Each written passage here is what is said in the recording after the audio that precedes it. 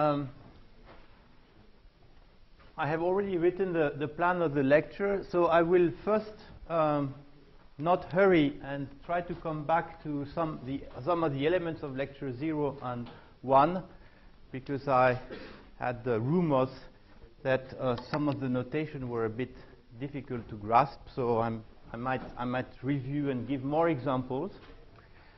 And then before starting the subject of the proper subject of the lesson, I will give you just a hint, a little idea of a notion of general connective that helps also to understand the general structure of this syntax. Okay? And once this is done, we will embark on classical logic.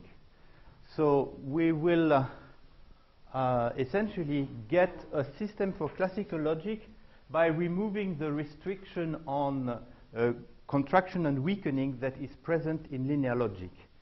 But then we are faced with the funny classical logic, which has two conjunctions and two disjunctions. So um, some people may think that it is too much, and we can uh, indeed reason uh, with a subset of rules, because after all, one conjunction is enough and one disjunction is enough. And I will show you how good it is to take all reversible rules and forget about the irreversible ones. I will show you, um, well, I, I, will not do anything with the uh, other choice, but just mention that Gentzen, uh, in his papers, has this choice. And uh, finally, keeping both is a good key to uh, having uh, this uh, computational consistency problem solved. So that's where we will stick to such a system that has uh, two conjunctions and two disjunctions, and then we will discuss how to make it a confluent system so that you don't identify too many proofs. And um, this will rely on the notion of focalization that you have uh, seen this morning. And then we will discuss uh, a variation of this system, uh, which I will call indirect, so we will see when, it, when we come to it. And once we have this system, I will discuss encodings from and to this system. So first to this system, so the, uh, as I told you, I, I, consider this syntax as an intermediate language. So it means that it should be the target of translations from ordinary functional programming. So we should be able to translate call by name and called by value lambda calculi.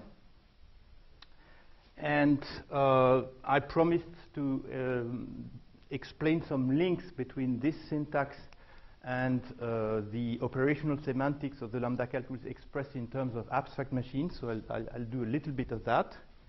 And finally, I will show how to translate this syntax into intuitionistic logic, which is usually the last step well, the, uh, if, if, if, if I put together the translation from uh, lambda calculus to system L, and then from system L to intuitionistic logic, together this forms a translation from logic, classical or not, into intuitionistic logic, and this is uh, what is usually called a continuation passing style translation. And we will uh, see that the last step this step is almost um, trivial, almost textual. So in some sense, this language, SystemL, is already a CPS target language. That's, that's, that's more or less the, the idea. Okay, so let's start with a review of lecture 1 and 0, and, uh, sorry, 0 and 1. And when, is it, when this is done, I will uh, leave space for questions okay, before I, uh, I go on. So uh, let me remind you uh, my uh, short introduction to linear logic, where I insisted on, uh, I, I, followed the historical, uh, even if the history is short, it's, it was in, born in 86, so it's like 25 years. the historical line is to divide connectives in multiplicatives, additives, and, uh, and exponentials, and I explain the terminology. And I uh, improved the slide by giving you a table because uh, our discussion in this series of lecture is more along the distinction between irreversible and reversible. And I want to show you through this table that this goes completely orthogonally to the distinction between multiplicatives and additives. That means that uh, the two multiplicatives, one of them is reversible, the other is reversible, and the same for additives. Okay? So again, the distinction that will matter for us is between irreversible and reversible. And we will really exploit it when we come to this line in the, in the, in the lecture, when we discuss focalization. That was the first thing. Then I wanted to give you an illustration of the syntax because I talked about active formulas and some of you were not very clear about what it meant. So let me just, it's not a meaningful proof. I'm just, uh, I'm, I'm just thinking of a proof that ends like this. Okay? So it's a proof of uh, the sequent uh, uh n plus p um, tensor m, a par b, gamma 1, gamma 2. And suppose that this proof, uh, the last rule used was the tensor rule, so you introduce a tensor last, and then after this, in, in terms of proof search, you decide to decompose the par. Okay. So let's us, let us see how the syntax of system L is going to transcribe this. So in order to account for the first rule, I will suppose that uh, I have a proof of the uh, uh, assumption n plus p a b gamma 1, and this will be a given command c. And now I will introduce, uh, use the rule to introduce the par, which is a reversible connective. So uh, remember, for reversible connectives, I use a binding constructs. So then I get this mu y1 y2 dot c, which is a term of a par b, uh, in the uh, context uh, of the other formulas, n plus p and gamma 1. Okay. And y1 and y2 were the names associated with the assumptions A and B. So now you see that if I want to progress in my transcription of the proof, I must change the active formula because the formula that is going to be active in the next rule is not A par B, but N plus P on the left. And on the right is going to be M. So I need to play this little game of deactivating A par B and activating N plus P. So that's why my uh, uh, picture here is uh, much more verbose than the one up there. Instead of having three lines, I have uh, five lines. So let's first do the deactivation. So the trick for deactivation is just to cut this term with a variable. So instead, now, now you can think of this variable as, as a placeholder for the formula A par B, and uh, the result is a command where y is cut against mu y1 y2 dot c. And this becomes again a neutral thing where nothing is activated. And now I need to activate n plus p. So I use the mu which is the activation construct. So mu and uh, I, I use mu x because x is the name of n plus p so mu x of all these commands is going to be of type n plus p. And now I can assemble this term with uh, the proof of m gamma 2 that uh, I'm supposed to have uh, around. So by pairing them, I get a proof of the sequent. So I, I hope that you can uh, better understand how the syntax works through uh, an example like this. Okay. So the second remark I wanted to do is that I listed these reduction rules and I only insisted on the pattern matching aspect of the rules, which is, uh, which is an interesting feature. But um, some people asked questions about what is the role of substitution here, and I have uh, prepared a slide to answer this a bit more uh, precisely. Okay. So I will, what I want to do is to explain you the first two rules. So let's do it slowly. So there is a lemma which is not so completely trivial to prove. It's, it's, it's, it's not difficult, but uh, you have to do it with care. On so exercise, it's on uh, on induction on the on the on the on the proofs. You can show that uh, for any command uh, that has a type uh, x colon a gamma, then, then I know that x occurs uniquely in C because the syntax has been designed to be linear. So it's uh, also, a, also an easy exercise to check that uh, an invariant of uh, the uh, typing rules is that uh, in any term C of a given type, if a variable occurs in the context, then it must occur in C, and it must occur exactly once in C. Okay. So now the lemma says that C, the, this occurrence of x in gamma is always of the form x cut with some term t in as a subterm. Okay, so, so C is a is a big term that contains a subterm of the form x cut with t. And this x cut with t corresponds exactly to the transcription, the syntactic transcription of the moment where this A was active, where this A was actually introduced. Okay, that's the idea.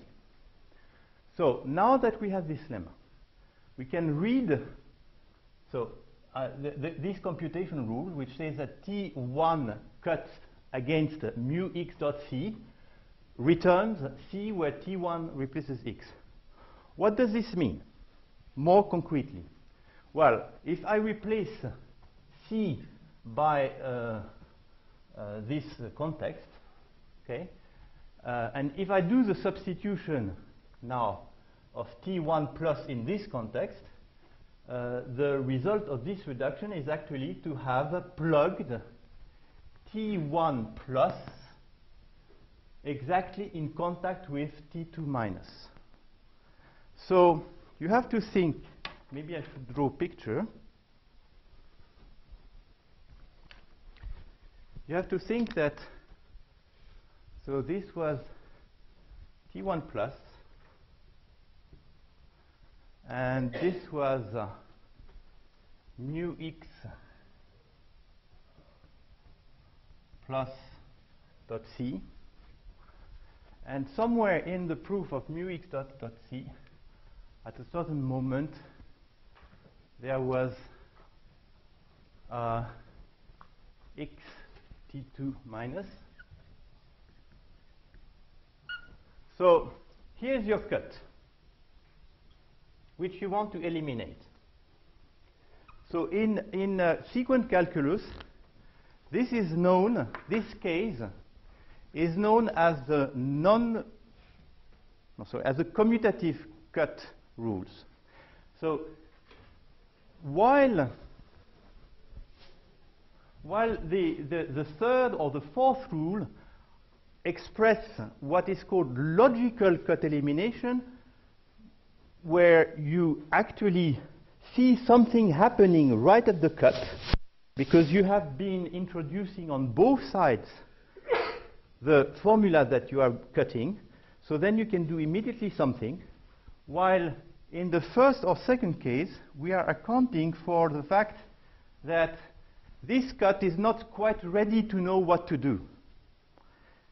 because uh, the, uh, the, this formula may have just been introduced right now, we can believe it, but th the presence of this mu x plus says that this was done earlier for, not, not exactly there for the other cut formula.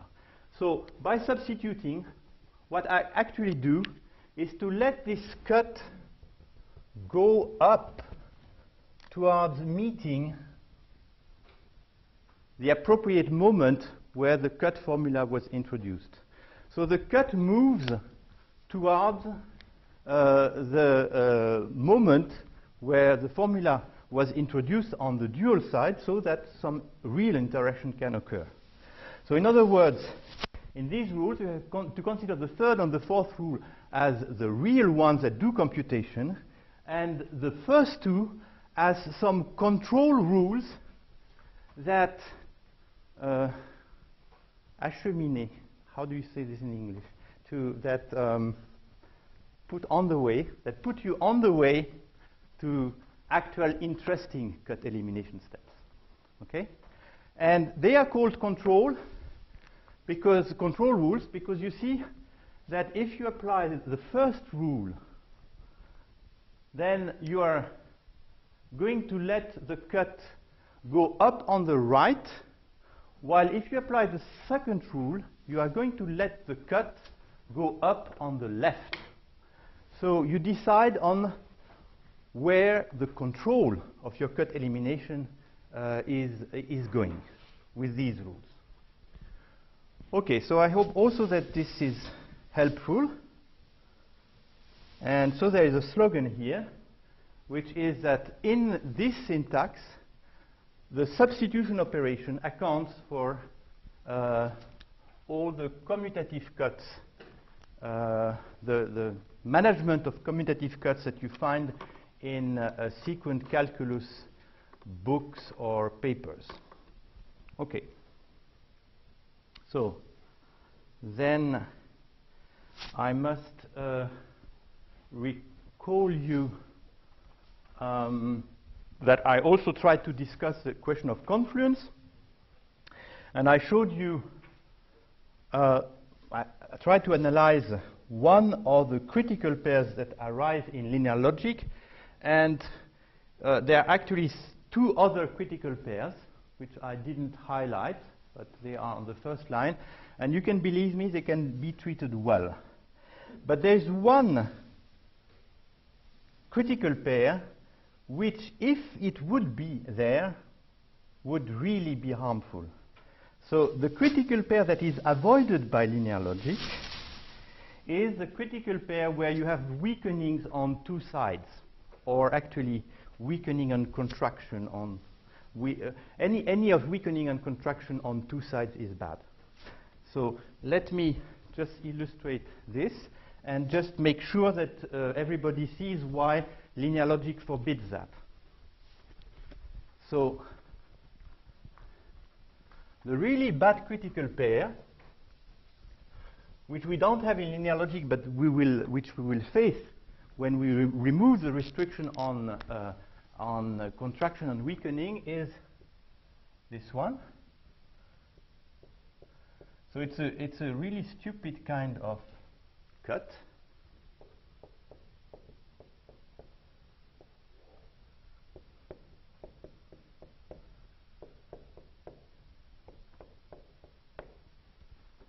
So suppose that a has been introduced by weakening on the left, and that A has been, uh, A bar, has been introduced by weakening on the right.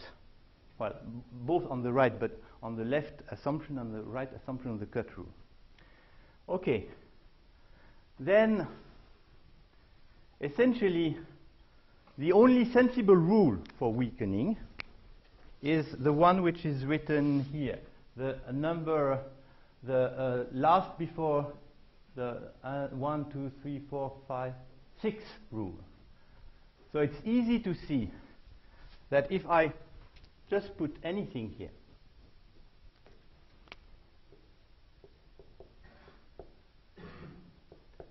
the best way to eliminate this cut, I don't know exactly how this was built, the, the, the, the sensible way to eliminate this cut is to say, well, I started from this assumption and also this one. But I have a very simple way to reach the conclusion gamma delta, which is just to apply repeated weakening from gamma. So that's how you eliminate this cut. You essentially forget this proof. Okay? So, but if now remember that control can go on two sides, and here we also have the same problem. Suppose that on both sides this has been a weakening.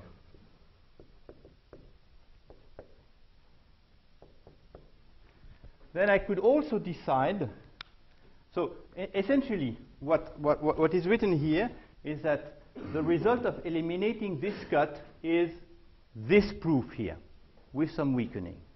But I could equally well have said that the result, because I could uh, now decide that this is the guy who takes control, and the, this could also reduce.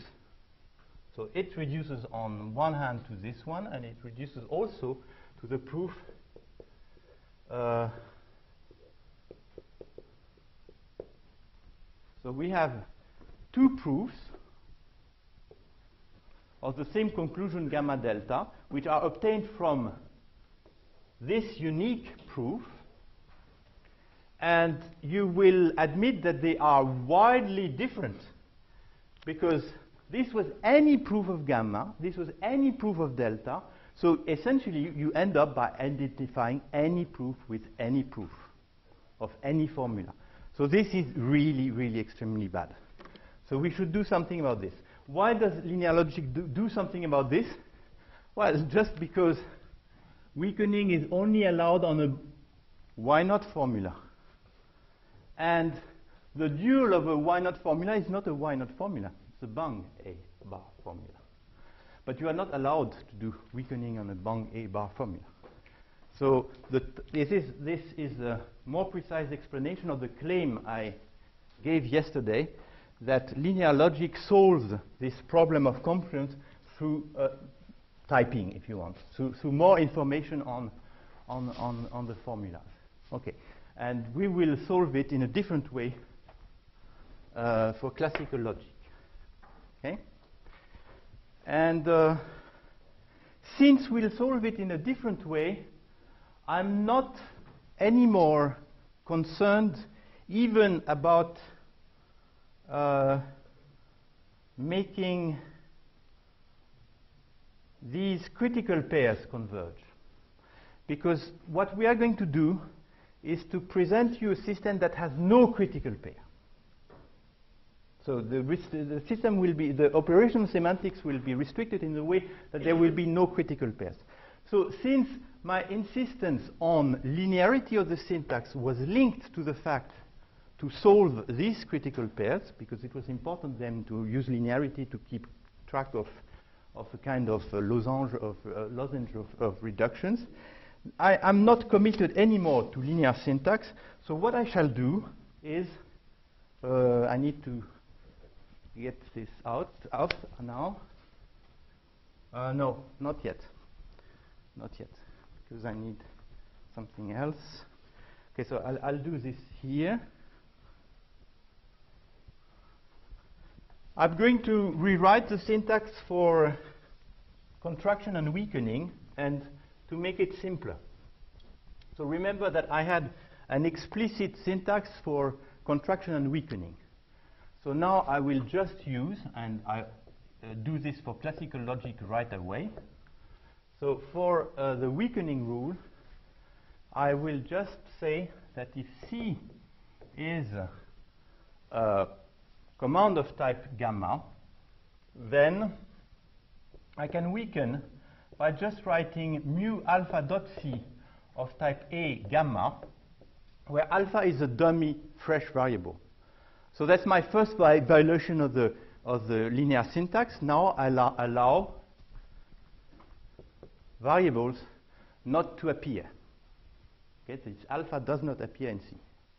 And for contraction, I'm violating the second uh, dogma of linearity, namely that if I have C of type gamma, uh, sorry, x1 of type A1, x2 of type A2 gamma, then, uh, sorry, it's AA, then mu, uh, yes, that's mu x dot c, where x replaces x1, x replaces x2 of type A gamma. So I now uh, use also the mu construct, and I'm violating the fact, the fact that x occurs only once, because now x occurs at least twice okay, in, in, in, in this term. So in other words, I can use the kit of the mu construct to deal with weakening and contraction implicitly. So that's less bureaucracy in the syntax. Okay, so once this is done, I have a last thing to show before removing the screen because the rest of the lecture I'll try to do it uh, on the board and in the end I'll need uh, the slides again. Okay, so I, I promised to give a very short view of general connectives. So there is somewhere here where this is just to, to know where it is. Not sure where it is.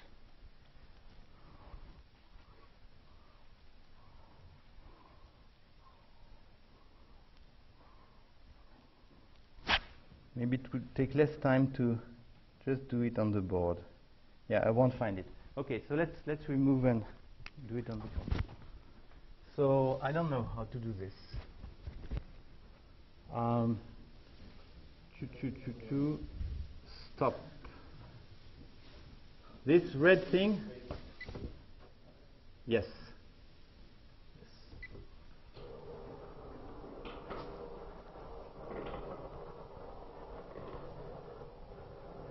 Okay. So, just a rough idea of what a general connective could be. Okay, so, so I can remove this because it's written here.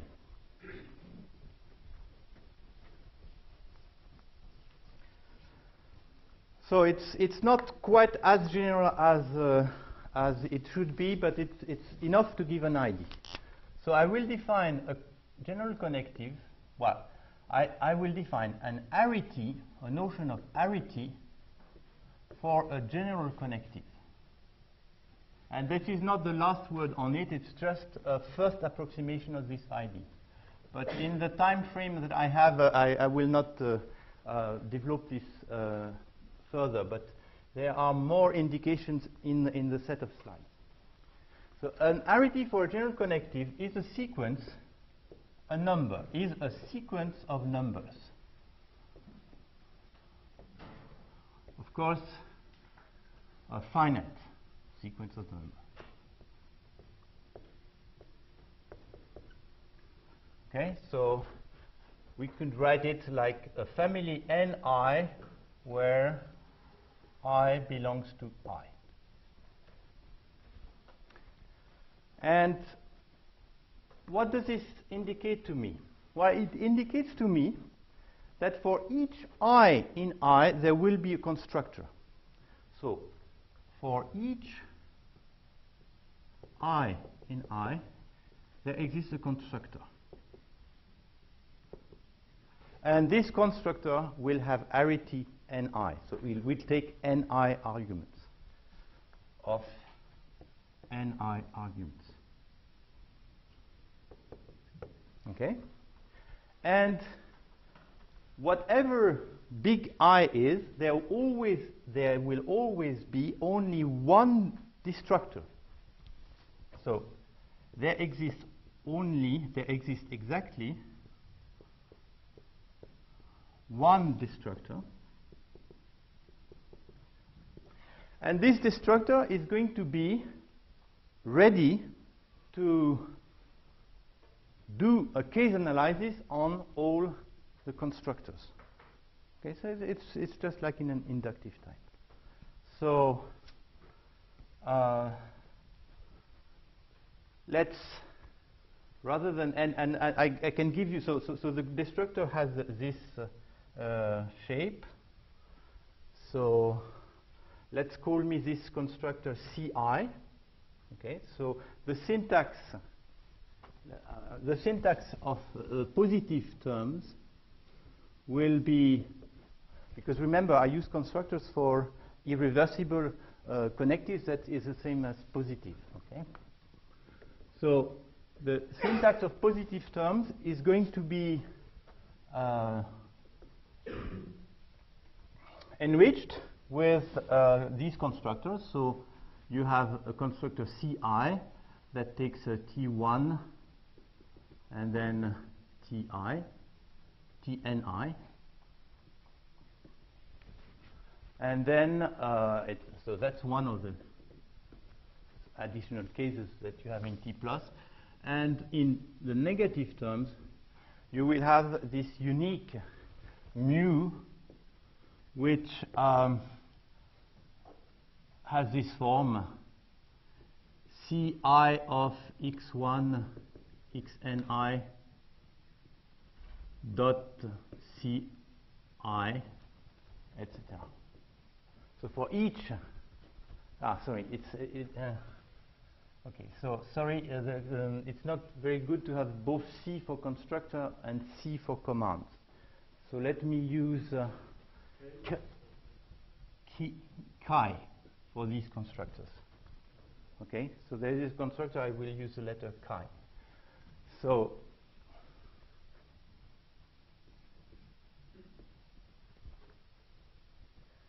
the mu constructor has this form. It's, it's, it's, um, it's a list of uh, binding uh, constructs of the form chi of x1 xni dot ci. And then the computation rule is that uh, if you match the constructor chi i of t1 tn against, so these are actually pluses, against uh, this mu, this big mu thing,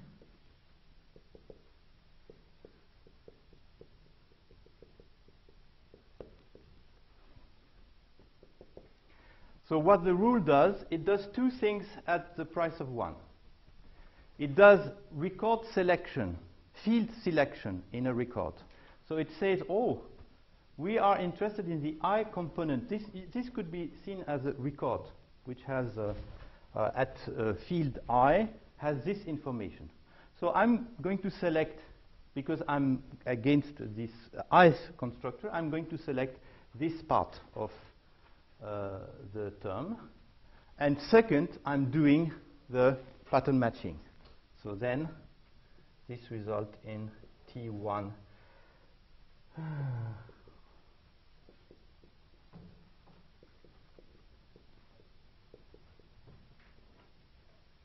Okay.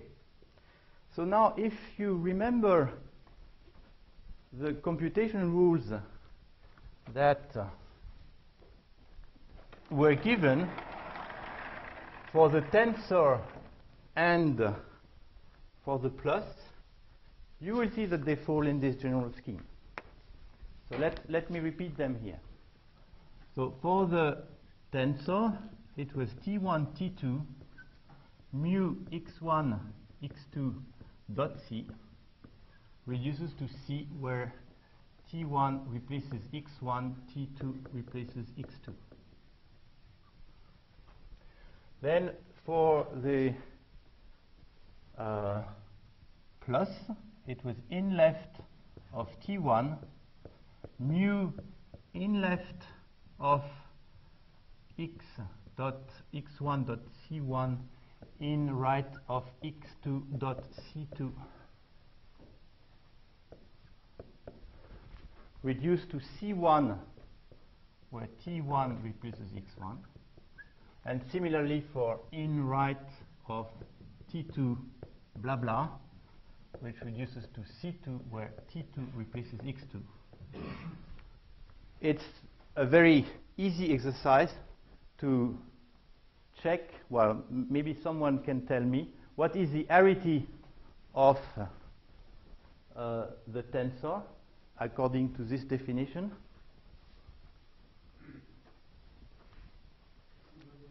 Huh? Singleton 2. And what is the arity of uh, the sum? It's a sequence, the sequence of 1, 1. Yes. Okay, so it's just to give you a rough flavor. The, the, the real picture, which is actually the one which I like, is where I have more information. Instead of having numbers, I have actually sequence of signs, and these signs are of four kinds. They are, they give me an indication of being left or right in a sequence, and they give me an indication on being positive or negative. So I have four signs. Positive on the left, positive on the right, negative on the left, negative on the right.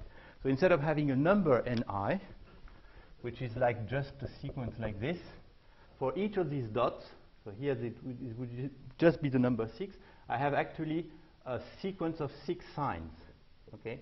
And moreover, also I have a sign which tells me in which syntactic category the constructor is going.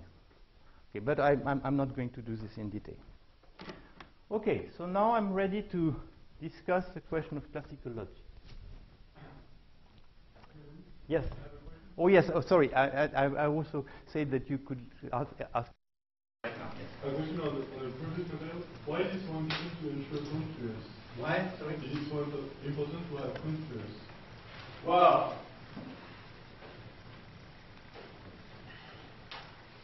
if you want, what we want is to have a system where we don't identify everything. So we, we, we, we, we want to, uh, with the minimum that we want in to give a denotation of semantics to any system is, is that, for example, if you have this,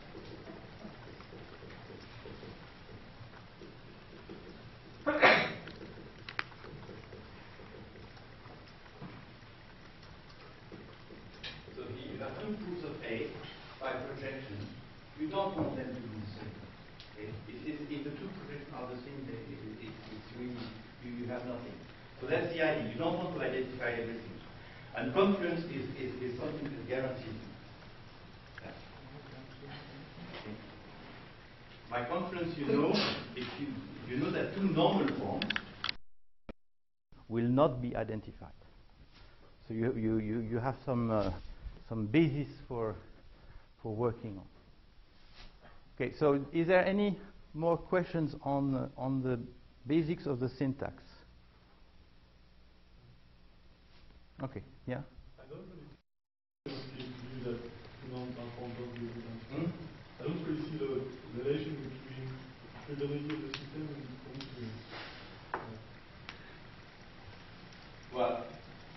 if, well, if the system is and normalizing, which will then uh, normal forms are all uh, uh, provably unequal. they, they, they, are not provably equal. A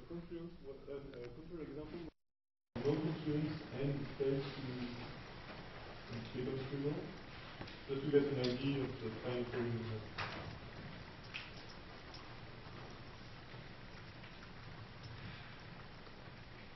No, for me, confluence is, is really is, is, is, is really that that's part of the agenda of of, uh, of a decent theory work. I, I my have difficulties in in uh, following. There, there, there, was the hope that uh, uh maintaining non-deterministic systems of classical logic was still something interesting to study, but I haven't seen any interesting sign that it was really important. Okay, so I have written down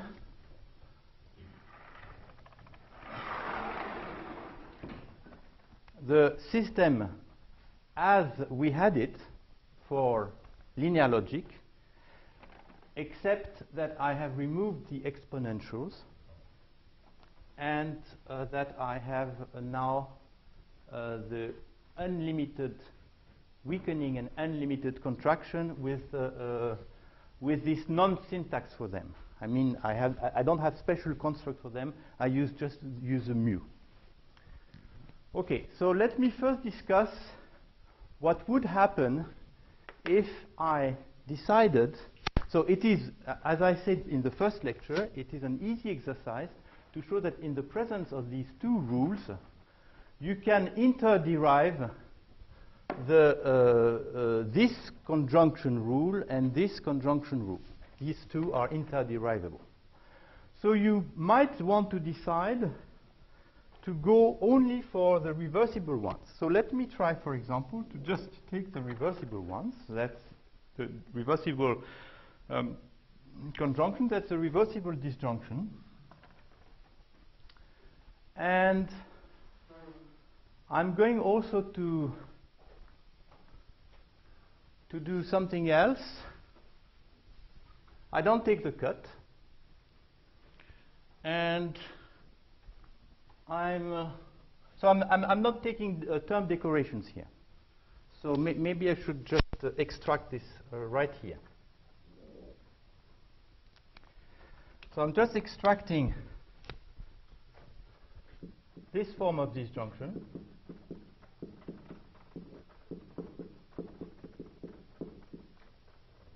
And I will call it OR because I just take one. And I'm extracting this form of disjunction. Yeah? Sorry?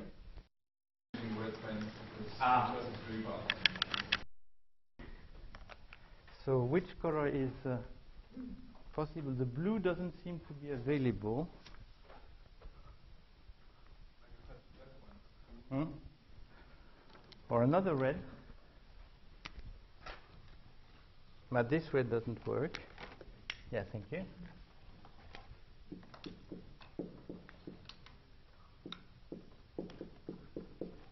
And let me extract the axiom, but uh, with the weakening.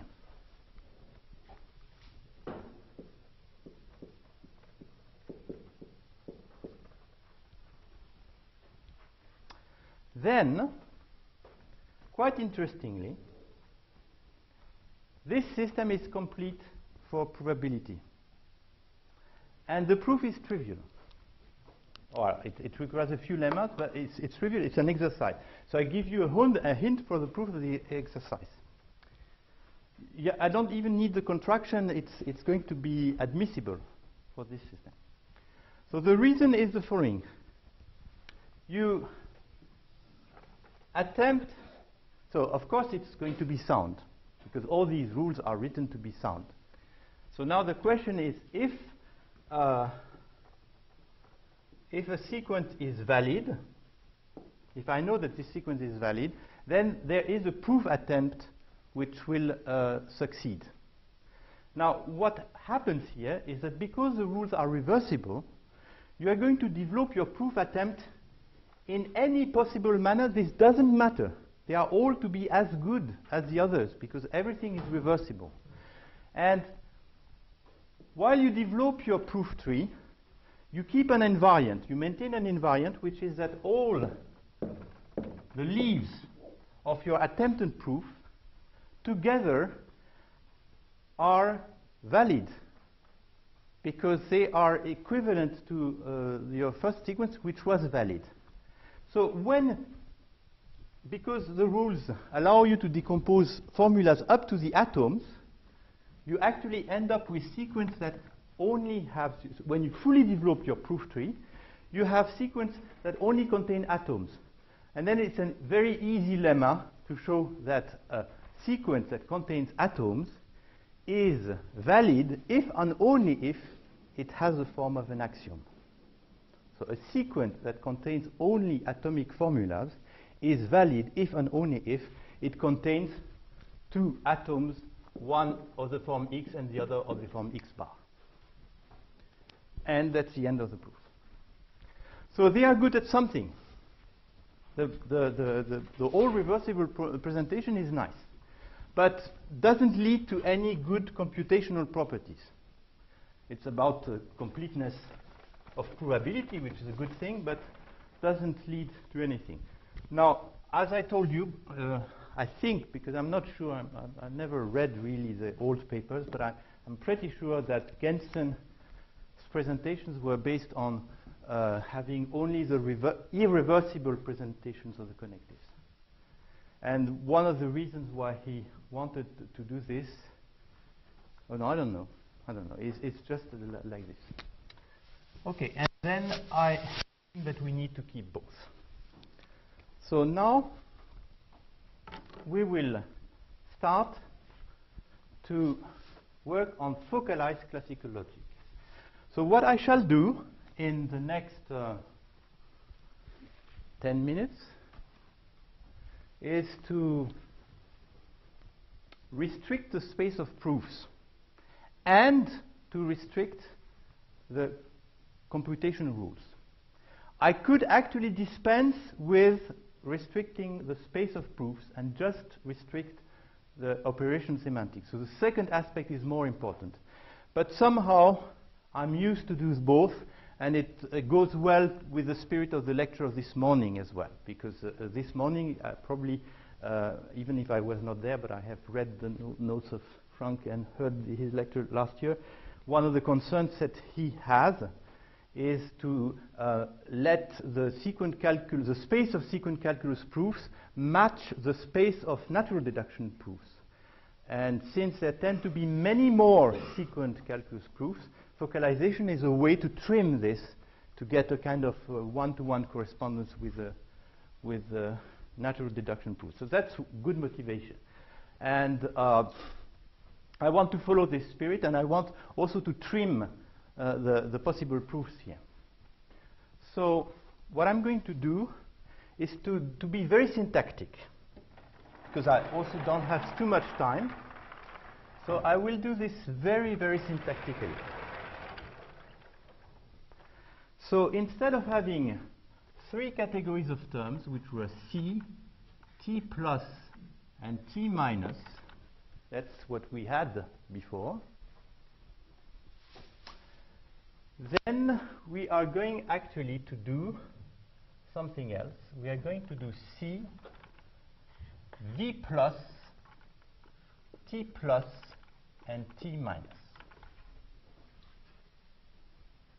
Okay? And I will need an auxiliary definition, which is that V is the same as V plus or T minus. Okay, so I will use V to stand either for V plus or T minus. So these will be called the commands. These will be called the positive terms. These will be called the negative terms. And these will be called the values.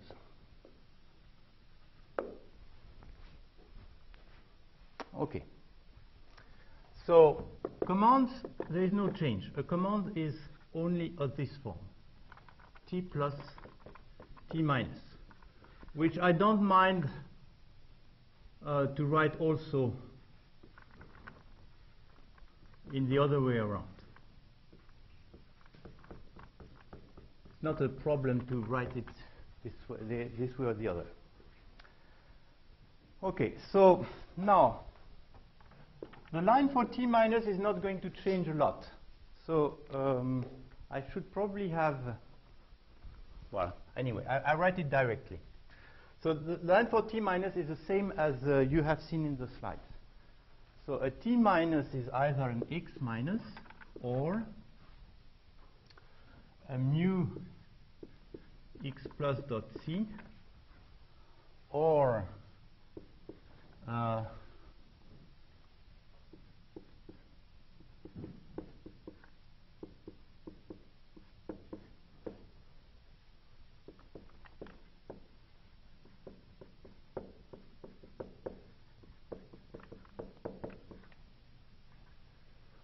Okay, so these, these, these are the terms corresponding to introducing uh, the negative uh, disjunction, uh, the negative uh, conjunction, no, negative disjunction, and here the negative conjunction. And uh, here we make a dramatic change.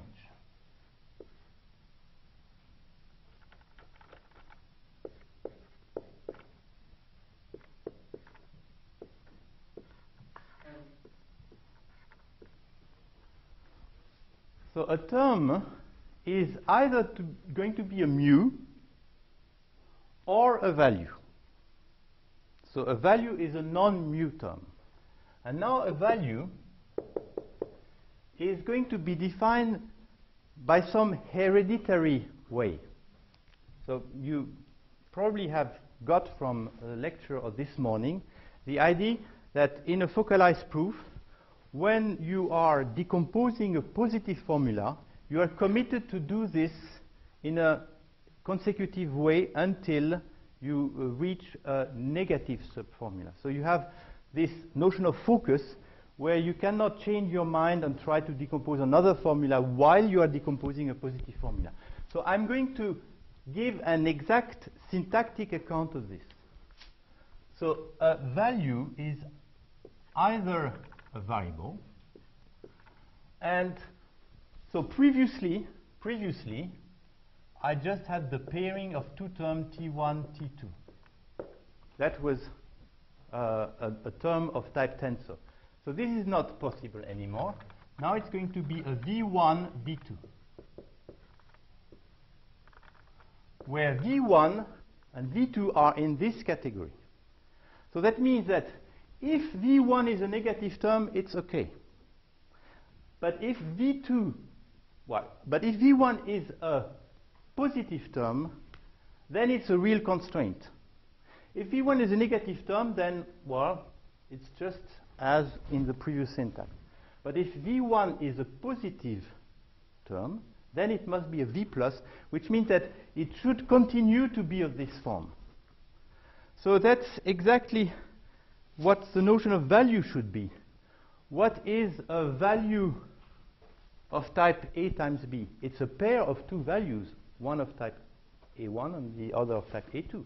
But if A1 is itself a product, then this value must be a pair of values, etc. So this is the reason why we call them values. And the same for in left of V1. So typically, let me tell you what I forbid. I forbid to form the term in left of mu x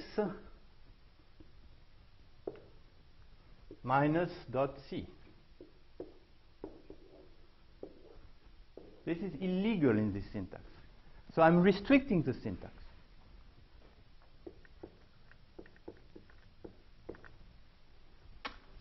And I think it's all. That's the syntax. So this is restricted syntax for focalized proofs.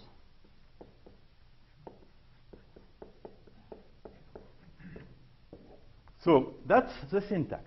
Now I will design the proof rules accordingly.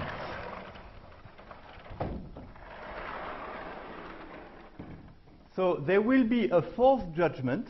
So, so far we have seen, we had three categories and three judgments. Now we have four judgments. So maybe I should have, sorry, written them here. So corresponding to these four categories, here we will have the judgment that C is a command of type gamma, that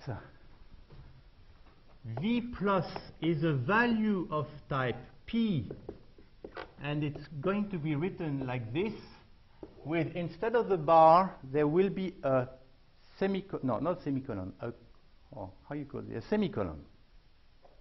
Yes. And this has a name in the literature, it's called the stoup. Um, it's a special place, just as, as, like a stoup is a special place in, in, a church. It's a special place in, in a proof where, where, where you should behave in a certain way. And uh, uh, so that's a new judgment. And then uh, the old judgment still exists, a positive term, and the old judgment still exists, a negative term. Yeah, okay, I'll try. So I hope that this is large enough because I'm going to overwrite it.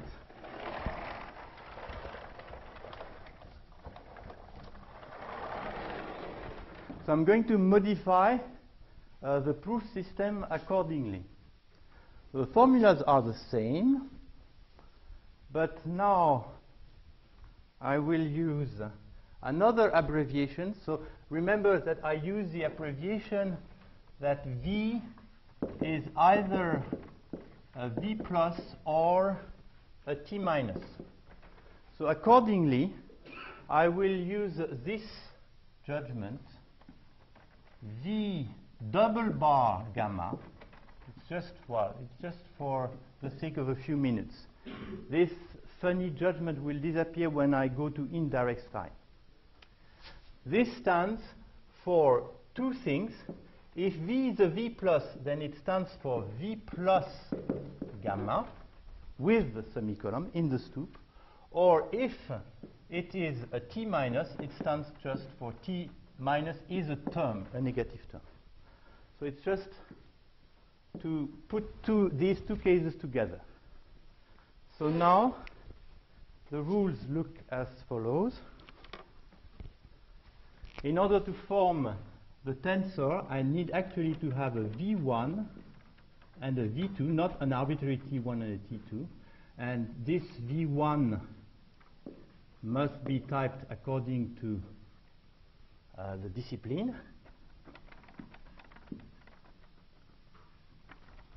Okay? And here, this goes, this is in the stoup. Uh, there is no change here, no change here. Here, the same thing. This should be a V1, and this should be in the stoup.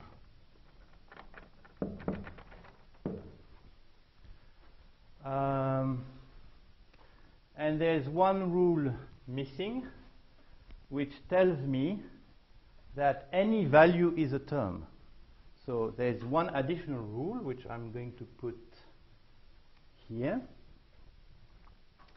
that if uh, I have that V is of type P gamma, then I also, also have that V of type P is a term of type gamma. So it's similar in spirit to the uh, rule that we have seen in, in, linear logic. We forget the information that we are in, in the stoup some, somehow. We forget something. Okay. So now this is so far for reducing the space of proofs. Now I will reduce uh, the, uh, I also will reduce the operational semantics.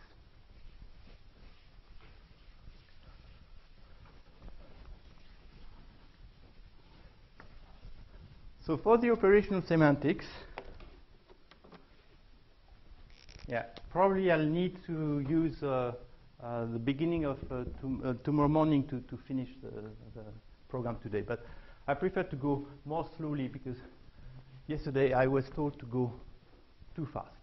So anyway, um, yes. so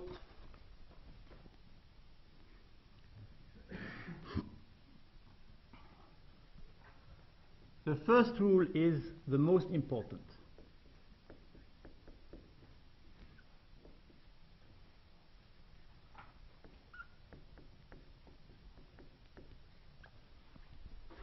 It's new because this category did not exist V+. plus. The second rule is as before.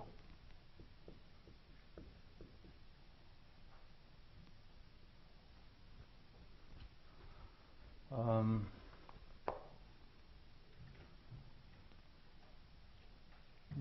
sensible to it. Yeah.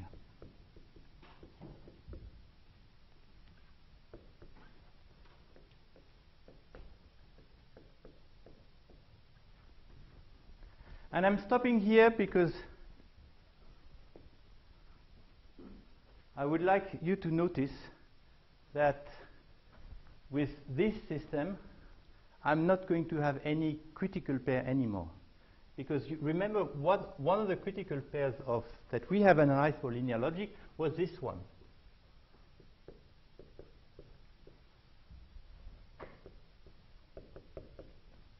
Okay? And this critical pair is extremely dangerous when uh, x does not occur in C and y, uh, C1, C2, and uh, y plus does not occur in C2, because that's then the weakening, weakening pair which I already warned you against. So this pair is extremely dangerous, but it's not there anymore, because I'm not allowed to reduce this one when it is this term, which is precisely a non-value. It's a t plus, which is not a v plus. So, because I have this special regime that says that positive variables can only be substituted with values, while negative variables can be substituted by any negative terms, I'm getting out of the non-confluence problem. I'm setting some uh, discipline on the way that cuts should be transported uh, during the proofs, and I'm forbidding some of the reductions. Good. And then the rest is as before. So that's, that was the key. The other rules are as before, just, just uh, respecting uh, the uh, call by value regime for x plus and call by name regime for x minus. So now for, uh, for a pair, I know that it is v1, v2. Um, yes? Mu x1, x2, c reduces to c where uh, v1 replaces x1 and V2 replaces X2. And here, this is really one of these two cases because a V is either V plus, in case it will be V1 plus replaces X1 plus, or it is a T minus, in which case it will be a T minus which replaces an X minus. So it's one of these two cases. And similarly for in left of V1 I don't repeat everything. We have seen this already. Okay. So that's the operational semantics. And we don't need anything else. No. So we are here. We've got a working system for classical logic that only manipulates focus proofs and that uh, computes with them. And we will show tomorrow that cut can be eliminated so that we really have a strongly normalizing system. And it is confluent by construction because there is not a single critical pair in this system. Okay, so what is new in this work? Well, it's, it's a work that is going on since uh, two or three years. It's what is new is the syntax. The underlying uh, logic is essentially the one of uh, Girard, which is called LC. So the effort, the main effort that I'm describing and, and emphasizing, emphasizing, here is, is, is a syntactic um, decoration and uh, understanding of this work. Okay, so let me move I think I still have about 10 minutes, even a bit more because I was eaten five minutes by the vote. But I, I would like also to leave some space for questions.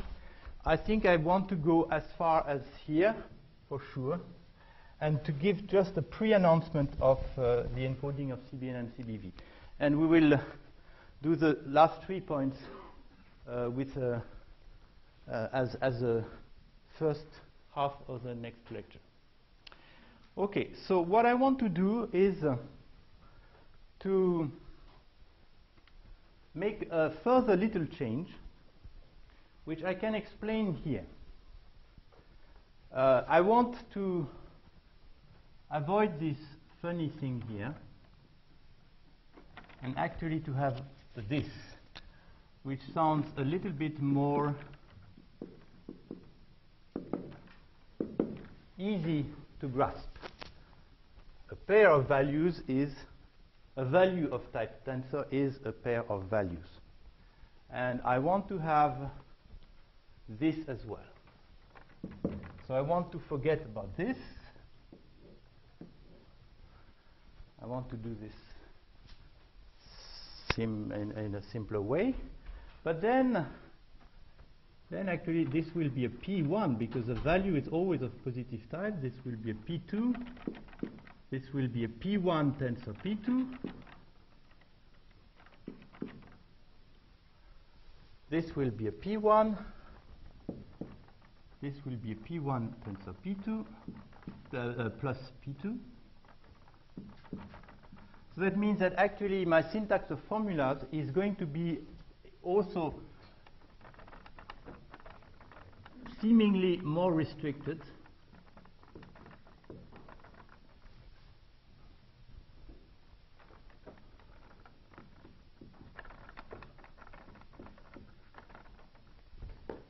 and similarly here these, going, these are going to be negatives.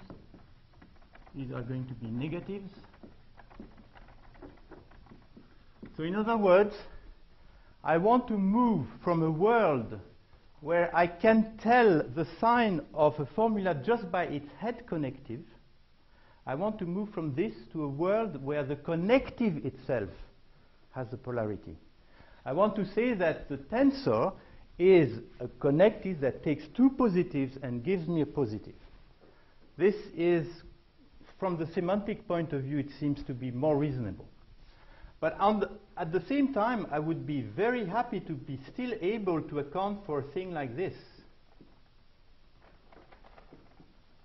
I still want to maintain the possibility to do the tensor of a negative and a positive. But I want to do this with explicit signs. So actually, in order to account for this, I will not do this. I will write explicitly down n tensor p. So I will introduce two modalities, not to be confused with the modalities of linear logic, because they don't play the same role, which are downshift and upshift.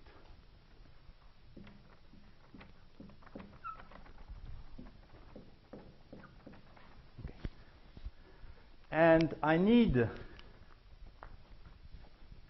to give you now the rules for the two, these two connectives.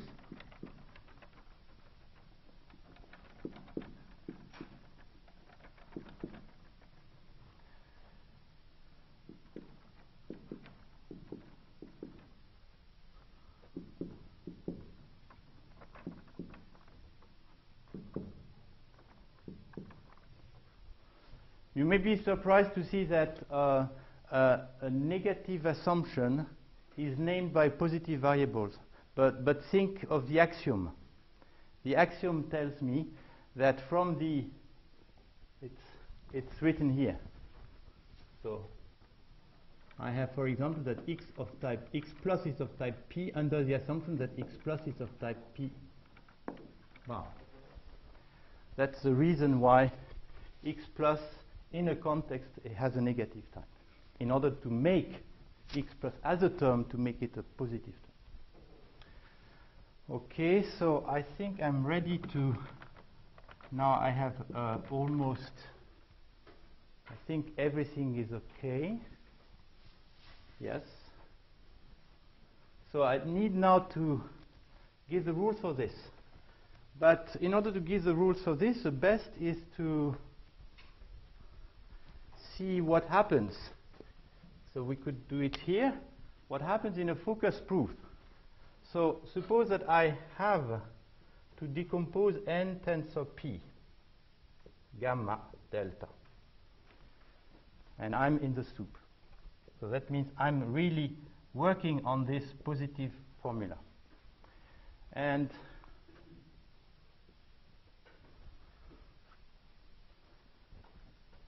what I would write in terms of proof search would be something like that. Because P is positive, I maintain the focalization constraint in the further uh, proof attempt. But here, because n is negative, I'm freed from uh, the constraint. But it's with this decomposition, it is more sensible to do an intermediate step, which is to write this down n here, and then to say that I'm arriving to this formula, which is still in the stoup, and then, because this is going to be the rule for the down connective, then I have this. So that's the rule. So I'm going to plug it in here. So if I have uh,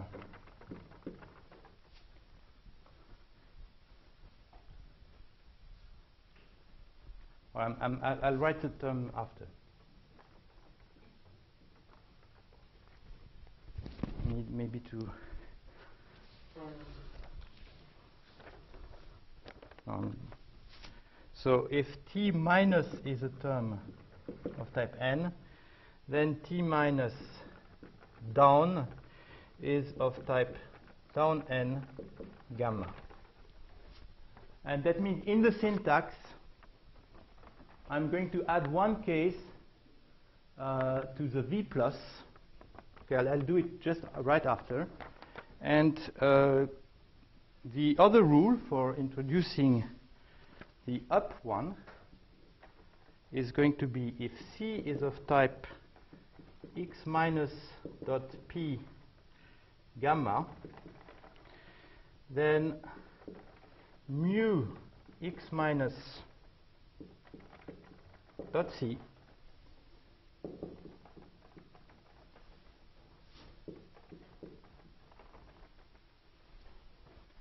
So you see again the same choices in the syntax. This is positive, irreversibles, hence I use a constructor.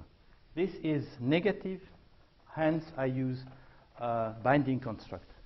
And then in the operational semantics, I have one rule which is again in the same kind of scheme that we have seen for general connectives, except that my very first attempt of general connective is not powerful enough to, to take account of such a connective that changes the sign of, uh, of uh, the formula, but uh, the more advanced notion of general connective will do.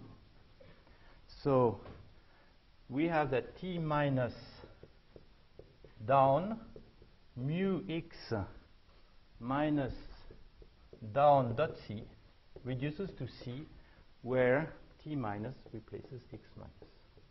Again, it's a pattern matching construct, and I destroy the uh, this downshift decoration in the process of applying the rule. Okay, so once this is done, I now have a system, so now it's complete here, which we call system in indirect style. And uh, one of the reasons for calling it like this is that you will see that encoding the system in indirect style into intuitionistic logic is going just to be a kind of jeu d'écriture in French, so that means just to play with uh, words, but essentially to do some kind of textual transformation. Okay, so uh, what I want to do is to just add these two cases, uh, and this one here.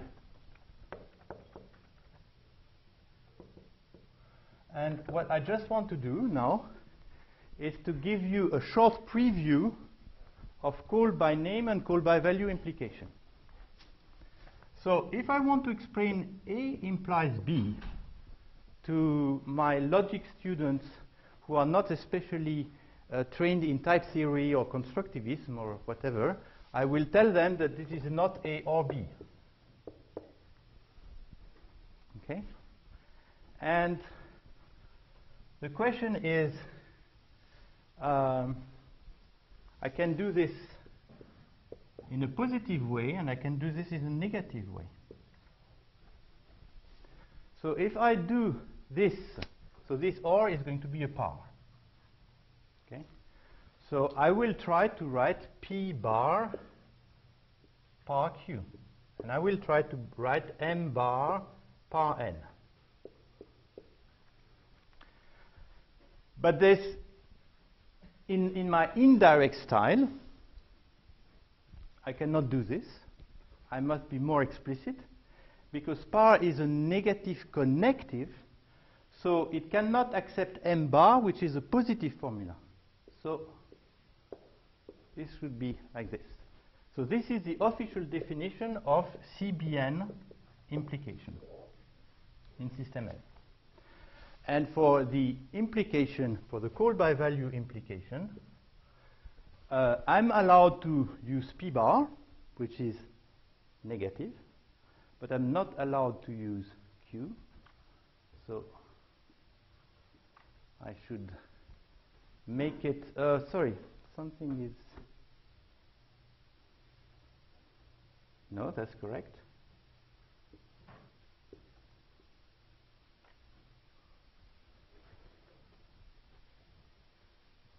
No.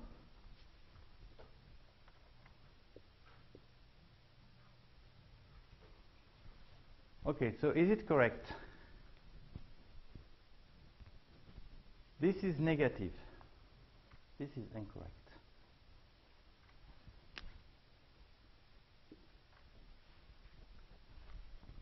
I turn Q, which is positive, into negative with the upper arrow. That's this is correct. So you see that I used two different encodings for two different notions of implications. And what we'll do, what, what we shall do tomorrow is we, wish, we will, I will exhibit you terms for the lambda abstraction for the application that are actually uh, macros corresponding to this complex uh, decomposition of the implication. Okay, so I'm stopping here.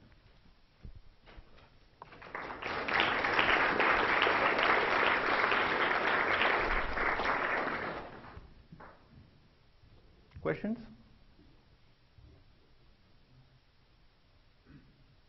Yeah. Is there a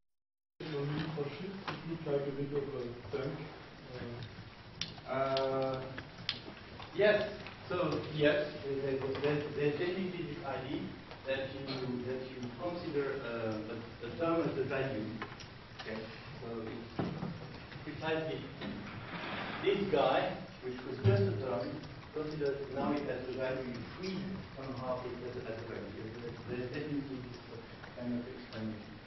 And there is also a connection between so these two these two connectives together form a kind of a adjunction at the syntactic level. But if, if we were doing the semantics of it, it would be real adjunction.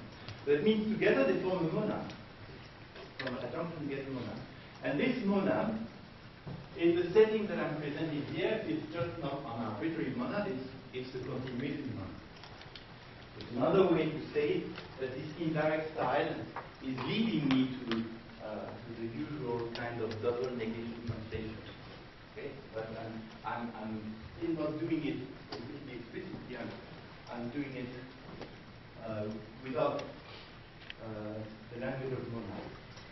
So that's one thing. And the other interesting thing is that if my language was not so expressive as it is here, if, for example, here it's very expressive in, well, it's expressive enough so that I have as many negative formulas as I have positive formulas. So that means my syntax is self-dual.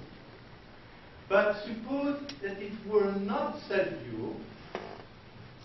This is, for example, the case of uh, uh, old lady called by push value, which does not have it has uh, different categories like this, and they are not due to each other.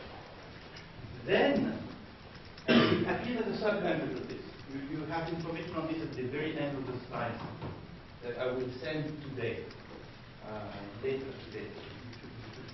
Get them if someone on. They're on the website already. Oh, they are on the website, but maybe not the latest version.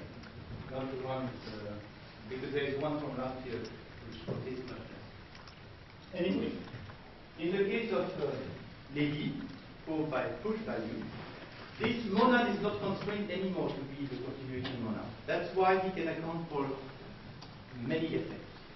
Because then, this is a monad, not necessarily the uh, continuation monad. so that's interesting to, to, to have different views of what this shift does according to which, in which logical system it's lives. And he calls them in a different way. He calls them, uh, or the two functors, he has an adjunction with two functors u and l, but they are the same.